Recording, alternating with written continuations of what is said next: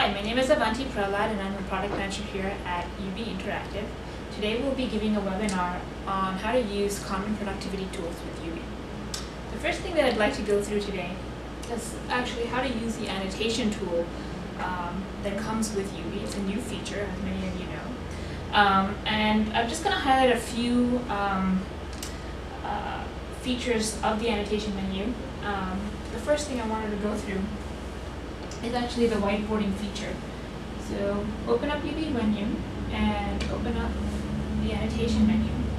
And uh, right here is the whiteboarding um, feature. If you open that up, this basically allows you to write in free form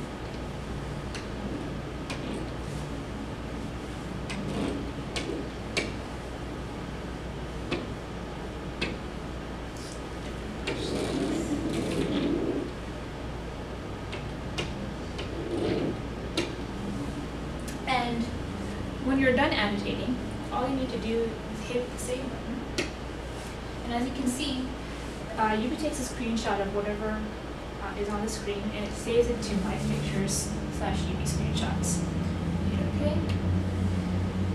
Um, and you're done. If you would like to quit um, the annotation menu, all you need to do is hit the Ubi button again.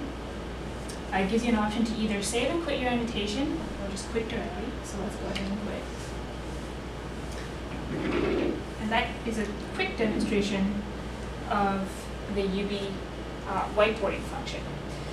Now, some of the reasons why you'd want to use the Ubi annotation menu is that it allows you to actually annotate over any content. So the two uh, things I'd like to show you right now is one, how to annotate over your Metro mode or, map, or apps in Metro mode. Uh, for example, um, here you can see that I'm in Metro mode. I'm going to go ahead and open up Bing Maps and go ahead and open up my annotation menu. And as you can see, I'm able to annotate directly over the map. I'm going to hit the Ubi button again, to save and quit my annotation. Again, it's saved under my pictures, Ubi screenshot, screenshots. Quit.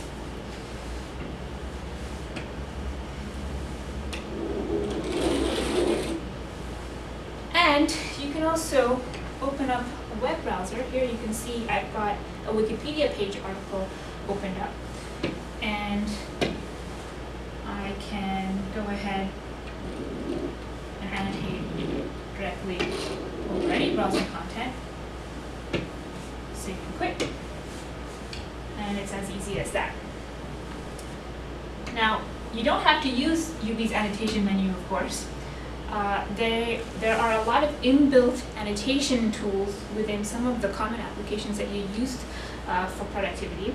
Uh, one of the common questions I have is whether you can annotate over a PDF and be able to save it. And in fact, you can do that. Uh, if you have Adobe Reader version 11.0, you can actually um, go ahead and navigate to this section here called Comments.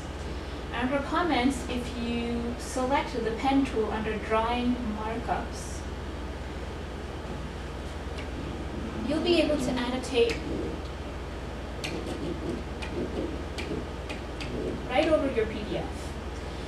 And what you can do is you can move and scroll through your document.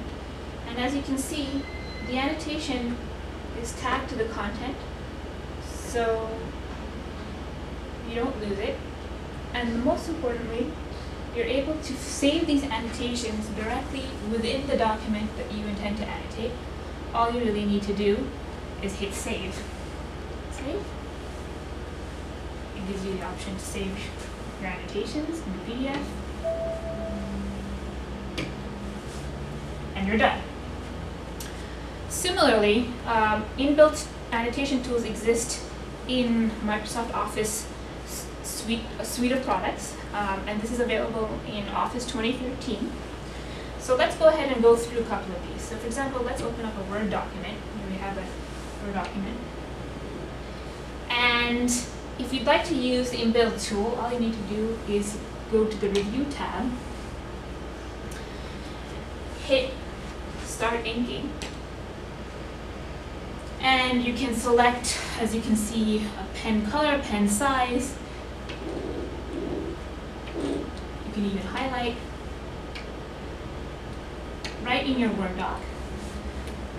when you're done, all you need to do is hit save and your annotations are saved uh, directly in the Word document. So the next time you open up, you'll have your annotations there. Uh, same thing in PowerPoint. Uh, here I have a slide. If you navigate to Review, start inking, and select a pen color, um, you're able to annotate directly onto your slides. You can do some highlighting if you want.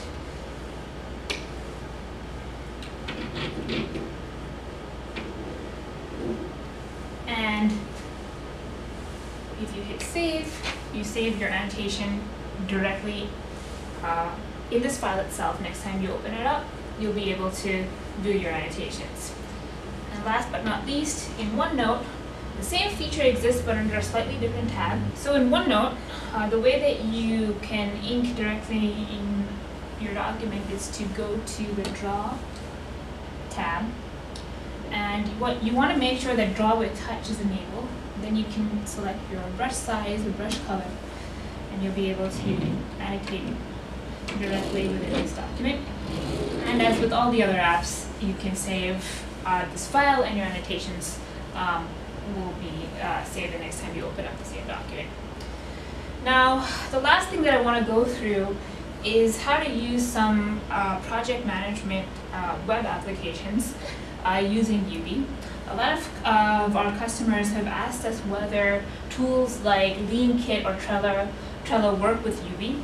Um, these web apps are actually not optimized uh, for touch input, but you can still use these applications in mouse mode. So what you need to do is open up the Ubi app, uh, menu um, and switch from touch to mouse.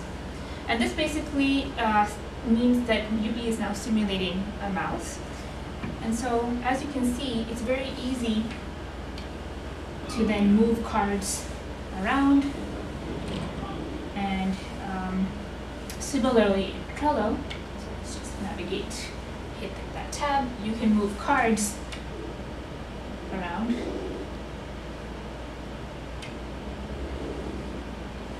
You can open up cards, you can edit them, close cards. And if you want, you could even use Ubi's annotation tool to annotate directly over these web applications. And that's about it. Thanks for joining us uh, for this webinar.